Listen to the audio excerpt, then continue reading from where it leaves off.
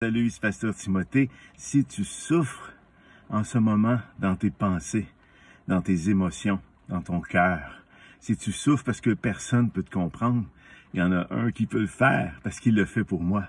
Finalement, c'est un témoignage que je livre, mais je veux pas raconter ma vie, mais je préfère parler de celui qui les transforme, et c'est Jésus. Jésus peut te donner sa paix, il l'a dit. Hein? Je vous donne ma paix, je vous laisse ma paix, mais je ne vous la donne pas comme on la reçoit des autres, comme dans ce monde. Pourquoi il dit cela? Parce que lui, c'est le bon berger, c'est celui qui guérit, qui pense nos plaies, et puis il peut changer tout ce que tu as en un instant.